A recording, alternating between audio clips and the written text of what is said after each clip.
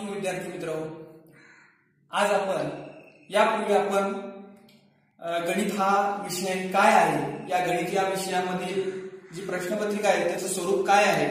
आणि गणित या विषया गणित भाग एक या विषयामध्ये किती प्रकरण आहेत? प्रत्येक प्रकरणाला किती मार्क आहेत? ते पाहिलेले आहे.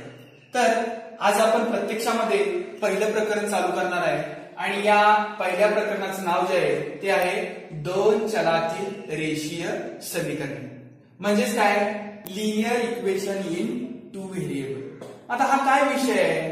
तर बघा या ठिकाणी A X plus B Y is equal to plus C is equal to zero ही जे आहे हे दोन चलातील रेषीय समीकरणाचं सामान्य रूप आहे.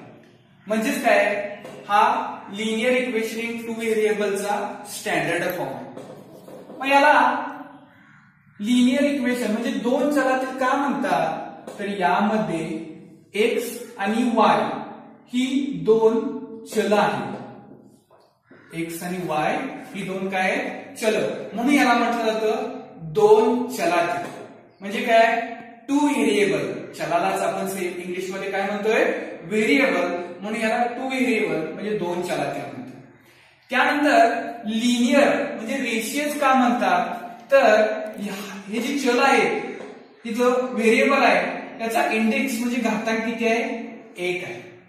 ज्या समीकरणामध्ये चलाचा घातांक मोठ्यात मोठा घातांक एक असतो इंडेक्स एक वन असतो त्याला काय म्हटलं जातं लिनियर इक्वेशन म्हणजे काय म्हटलं जातं रेषीय समीकरण. या ठिकाणी अशा पद्धतीने हे झालेलं आहे. त्यानंतर ए बी आणि सी ही जी आहे हे काय आहे? वास्तव संख्या आहे काय आहे? वास्तव संख्या. म्हणजेच काय? रियल नंबर आहे काय आहे? एबीसी हे रियल नंबर आहे दुसऱ्या एका भाषेमध्ये या ए ला आणि या बी ला काय म्हटलं जातं? सहगुणक म्हटलं जातं. काय म्हटलं जातं? सहगुणक. सहगुणक म्हणजे कोईफिशियंट म्हटलं जातं. मग सहगुणक म्हणजे कोईफिशियंट कोणाला म्हणायचं? चलाला. जोडून आलेला जो अंक असतो चलाला जोडून जो आलेला अंक असतो जी संख्या असते तिला काय म्हटलं जातं? सहगुणक असं म्हटलं जातं. म्हणजेच काय म्हटलं जातं? कोईफिशियंट असं म्हटलं जातं. हा जो स्त्री आहे या स्त्रीलाच काय म्हटलं जातं? स्थिरांक म्हटलं जातं. काय म्हटलं जातं स्थिरांक. स्थिरांक म्हणजे काय? कॉन्स्टंट असं म्हटलं जातं स्थिरांक म्हणजे काय? कॉन्स्टंट. आणि हे जे सर्व आहे या सर्वाला म्हणजेच A X plus B Y plus C is equal to zero ला काय म्हणायचं? दोन चलातील दोन चलातील रेषीय रेषीय समीकरणाचे समीकरणाचे सामान्य रूप. सामान्य रूप असं म्हटलं जातं.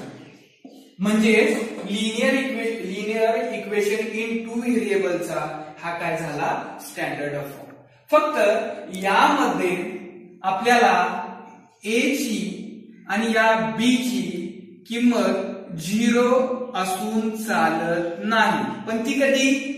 एकाच वेळेला. ऍट अ टाइम एका इक्वेशनमध्ये ए ची आणि बी ची किंमत झिरो असून चालत नाही.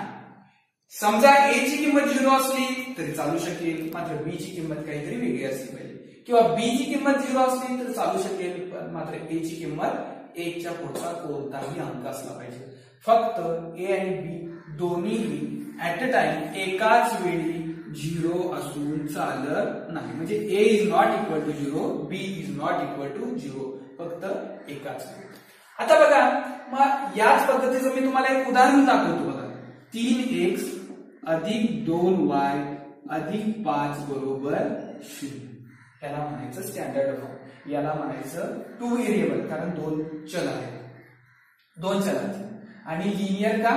तर या चलाचा घातांक मोठ्यात मोठा घातांक इथे एक आहे. म्हणून हे एक काय झालं? उदाहरण झालं. एक्झाम्पल झालं. कशाचं? लिनियर इक्वेशन इन टू व्हेरिएबलचं म्हणजे दोन चलातील रेषीय समीकरणाचं. किंवा असं सुद्धा चालू चालू चालू शकेल बघा.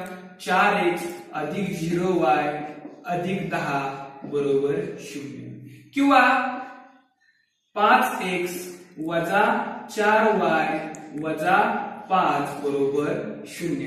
किंवा झिरो एक्स अधिक तीन वाय अधिक पाच बरोबर शून्य. अशा पद्धतीनं आपल्याला वेगवेगळ्या प्रकारची उदाहरणं तयार करता येऊ शकतात. अशा पद्धतीनं आज आपण काय बघितलेलं आहे? दोन चलातील रेषीय समीकरणाचं सामान्य रूप पाहिलेलं आता याच्यानंतर तुम्ही इयत्ता नववीला हे प्रकरण तुम्ही इयत्ता नववीला पण शिकलाय.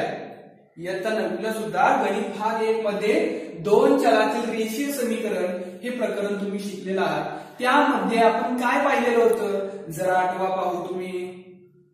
तर त्यामध्ये आपण काय पाहिलेलं होतं? तर ही दोन चलातील रेषीय समीकरण सोडवायची पाहिलं होतं. सॉल्व्ह करायची पाहिलं होतं. सॉल्व्ह करायचं म्हणजेच काय? तर त्यामध्ये जे चल असतं का नाही? एक्स आणि वाय व्हेरिएबल असतं एक्स आणि वाय त्याची किंमत कशी काढायची? हे बघितलं. त्याच्या एक दोन तीन पद्धती पाहिल्या होत्या त्या गेल्या वर्षी सुद्धा. आता सुद्धा आपण काय करायचंय? दोन चलातील एक सामायिक समीकरण सोडवायचं पाहायचंय. म्हणजे लिनियर सायमल्टेनियस इक्वेशन सॉल्व्ह करायचं आपण पाहायचं आहे. मग हे दोन चलातील रेषीय समीकरण सोडवायच्या सुरुवातीला आपण पाहणारी जी पद्धत आहे ती पद्धत कुठली आहे? तर चलाची निरसन करून. चलाचे निरसन करून. म्हणजे काय? जो व्हेरिएबल आहे व्हेरिएबल तो काय करायचं? काढून टाकायचं.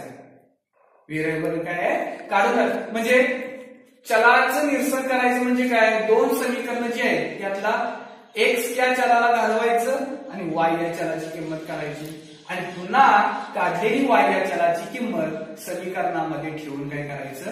एक्सची किंमत काढायचं. अशा पद्धतीनं यानंतर आपण काय करायचंय? पहिली पद्धत म्हणजे चलाचे निरसन करून इक्वेशन सॉल्व्ह करायचं. म्हणजे समीकरण सोडवायचं आपण पाहणार.